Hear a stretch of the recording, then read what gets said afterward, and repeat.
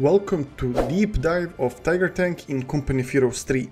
We are all familiar with this legendary tank, but do you know all of the numbers, perk, weaknesses, strengths and in the end cost efficiency of this tank when it is compared to other units in a real fight? In this deep dive we will give you answers to all of these questions, but also make a statement on how good is Tiger Tank in Company of Heroes 3. If these type of videos are your cup of tea, then check my unit comparison videos as well and subscribe. Tiger Tank is a late game unit for German factions. It is a heavy tank and acts like a slow rolling metal behemoth which puts fear and demands caution from enemies once its presence is revealed. It can deal with every encounter and every unit which is put in front of him. It can deal with armor targets with its high velocity main gun in the same efficiency as it would with soft infantry target with its great scatter area of attack. He can deal with all but one target in the game. In order to obtain Tiger Tank as Wehrmacht, we have to tech into the Breakthrough Battle Group and select Tiger Tank 3 on the right side. For Deutsche Afrika Corps it is a little bit different and it is a much closer to researching King Tiger from Oberkommando West from Company Heroes 2. Uh, there you have to unlock all the tier buildings and research Tiger Tank from HQ in order to call it in. So it is not locked behind battle groups but rather you completing tier buildings. In both cases it is not easy to obtain Tiger Tank because it is a highly time gated and no matter you play well or bad it will take you time until you get it. And often you might decide to tech into other units uh, during the game in order to stabilize the field. Presence of the Tiger Tank once on the field is definitely felt in the game. It is usually a final nail in the coffin either for the enemy or for you. Speaking about enemy, if you had a really stable front and even odds against allies, getting Tiger Tank will tip the odds in your favor a lot. However, if you struggled while you were trying to get Tiger Tank, it can often be overrun by allied Zerg. Uh, Germans who decide to rush for Tiger Tank and encounter difficult fight will lose more by waiting for Tiger Tank rather than filling that gap with other utility units. Uh, no matter what is the case is that Tiger will leave the mark on the field. Even if you lose, enemies will in that time remaining on the field suffer greatly against this behemoth. So speaking about the statistics and raw numbers of Tiger Tank in Company Heroes 3, so in both cases for DAK and Wehrmacht, Tiger Tank uh, has same statistics, so it has 120 HP, 300 armor, 260 damage points, around 7 seconds uh, reload and it takes a population cap of 20 men once on the field. Uh, also, in both cases, in order to call in the tank on the field, just the call-in is 800 manpower and 180 fuel. However, where we have a huge difference is between uh, the costs of basically unlocking or acquiring the ability to call in the tank. So speaking about Wehrmacht, we don't need any resources uh, to unlock the Tiger tank. What we need are the battle group points which we need to spend uh, in our battle group tree in order to unlock the Tiger tank. While for DAK, however, we need a bunch load of resources. So DAK uh, Tiger Tank, as we mentioned, is locked behind all of the buildings, uh, which we need to construct. And when we take in consideration all of the costs for all of the buildings which we need to make, that is 730 manpower and 220 fuel. However, we also need to unlock the Tiger Tank uh, tech, so we need basically research Tiger Tank from our HQ, and that costs additional 200 manpower and 150 fuel. So when we take in consideration costs of buildings, costs of unlocking tech tree, Tiger Tank and the costs of Tiger Tank itself, a DAK Tiger tank actually costs 1730 uh, manpower and 550 fuel in order to be called on the field, which is a huge difference compared to Wehrmacht. Now when we have the final costs of Tiger tanks from DAK and Wehrmacht how to get them on the field, uh, we are going to compare uh, the Tiger tank field performance against allied tanks and then compare that through resources. So uh, let's start with US faction. So for starters, in order to unlock tanks, uh, to be able to use them on the field, the basic costs of unlocking through all of the tiers uh, we need uh, 520 manpower and 165 fuel. So this is the base uh, barracks, this is the upgrade mechanized uh, center and tank depot. So those are the three buildings which we need to construct in order to unlock tanks. Additionally, we have uh, 400 uh, manpower and 80 fuel of costs in order to get uh, all of the upgrades for our tanks. So in total, uh, the requ required resources in order to unlock tanks for US forces is 920 manpower and 245 fuels at, from the get-go in order to start uh, going. So first tank which we compared is a Sherman tank and uh, we did this testing with all of the uh, upgrades and in order to kill Tiger tank we need three Shermans uh, and uh, if we take in consideration that uh, the cost of Sherman, building Sherman without the base and upgrade, it is 360 manpower and 90 fuel. Uh, and if we add up the costs of building and upgrades to three Shermans which are needed to fight one Tiger, then uh, we have a cost of 2000 manpower and 515 fuel. So this is the amount of resources you need to compare to Tiger Tank. Next tank which uh, we tested were Hellcats and we needed two Hellcats and uh, when we take again all of the consideration of building all of the upgrades and getting two uh, Hellcats uh, on the field the costs uh, in order to compete with the Tiger is 1560 manpower and 385 fuel.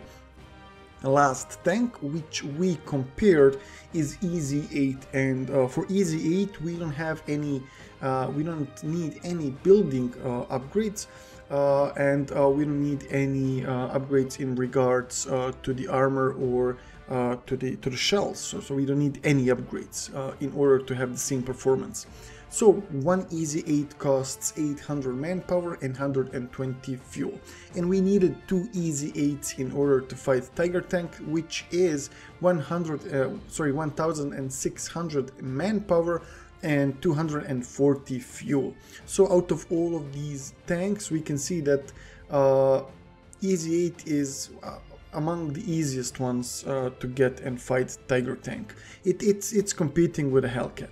Now we are going to switch uh, to British forces and uh, check their side of the story. So same like with the US faction, in order to unlock the ability to call in and get tanks uh, when we upgrade all of the tier buildings for the Brits, we need to spend 660 manpower and 180 fuel.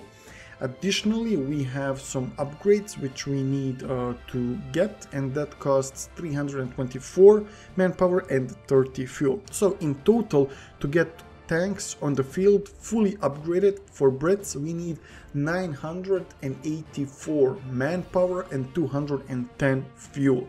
So now we are going to go uh, over tanks uh, individually and first tank on the line is Crusader and in order to deal with Tiger tank you need four Crusaders who are up, which are upgraded.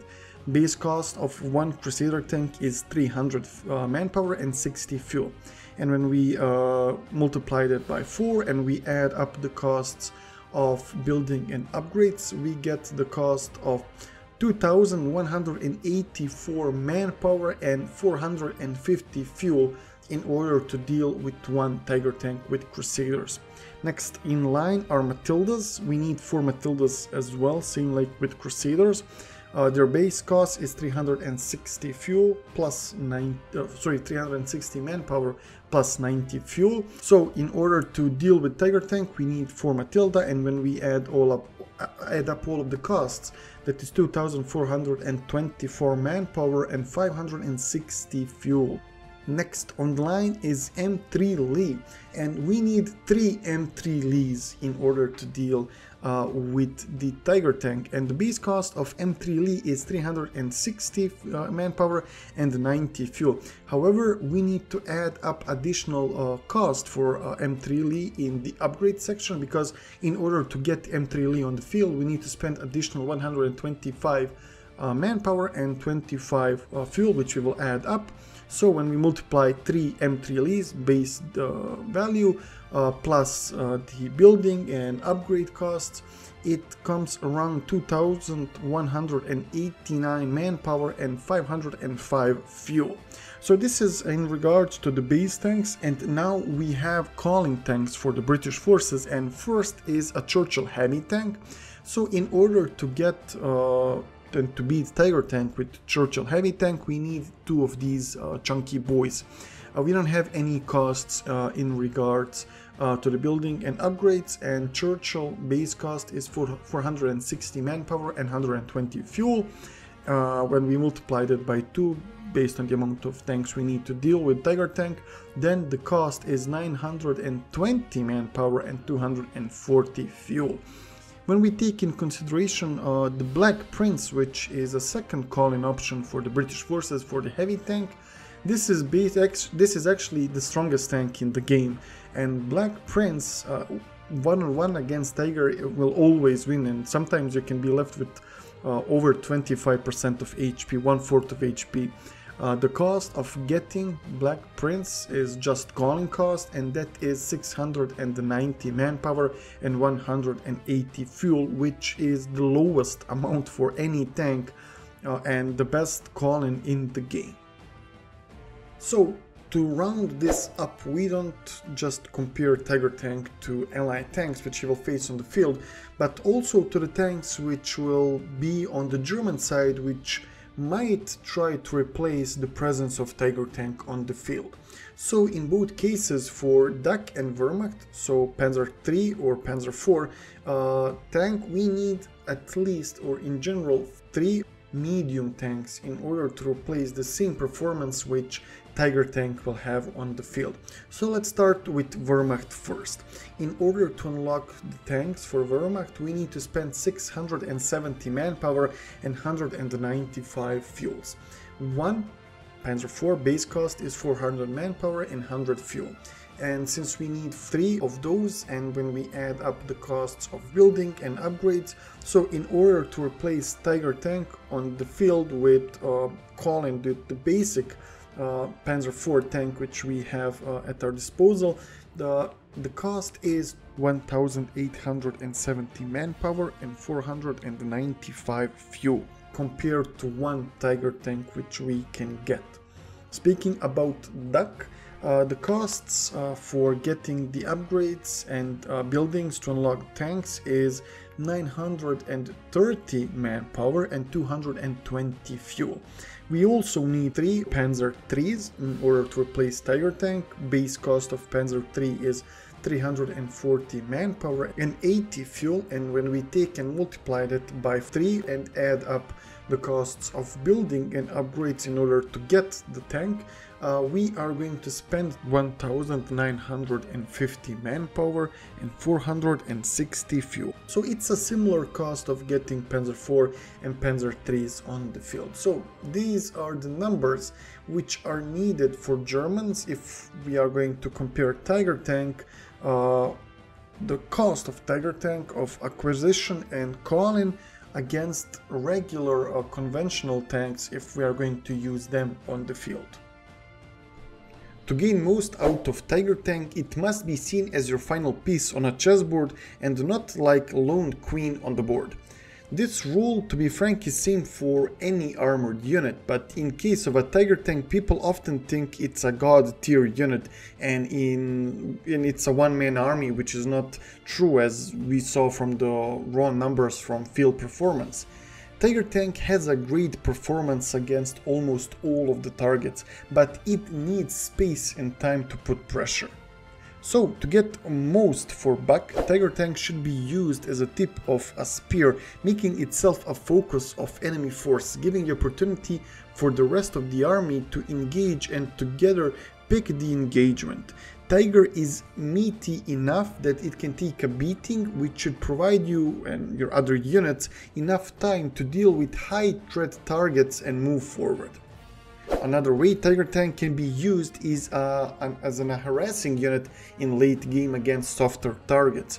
If you have enough victory points, for example, or you want to defend a certain area or, or position, you need to defend the point with Tiger Tank, which can be put in front almost alone to pick off the enemies at range as they are trying to approach, while you are slowly retreating to preset position where you will get more support from rest of your troops. What is different in this case to other tanks is that Tiger Tank has enough HP and does enough damage that once you have reached the defensive position, he can stay in that fighting position uh, even though he engaged the enemies alone before this and he doesn't have to retreat behind the lines for repairs instantly. So he can stay there and deal damage together with rest of the army. In the end, we have to give final verdict on Tiger Tank. Uh, when we take in consideration numbers, cost efficiency, performance and impact on the field, for Wehrmacht, uh, is, is it worth it? It's completely different story uh, when we compare it to DAK. Uh, Tiger Tank is not blocked behind resources but rather battle group points which you would naturally get by doing more damage and getting more troops so you, do, you don't have to save resources in order to get Tiger Tank while for DAK, Tiger is locked behind ungodly amount of resources to get and uh, allied meta is at the moment going in favor of uh, dealing with soft targets and by the time you get tiger you will suffer a lot as DAK. But in general tiger tank is a huge performer on the field. It is just that initial time which you need to spend in order to get it and allies don't have to keep and uh, calculate their resources to wait for the late game to get a tank. They can be aggressive mid game and get some tanks and start doing a lot of damage to you. So it it is worth it in some cases while in some it is not. It can be better to get two Panzer IVs or even one Panzer IV or two Panzer IIIs uh, rather than wait and save the money for Tiger Tank because in the end if you bleed a lot then Tiger Tank will not be worth it for you especially for DAK because the cost of getting Tiger Tank for DAK is huge but also the base cost of your units is also bigger than for the Wehrmacht. Uh, Panzer Grenadiers your core baseline infantry is the most expensive infantry in the game so it can be challenging to uh, save especially manpower as DAK for late game to get Tiger Tank.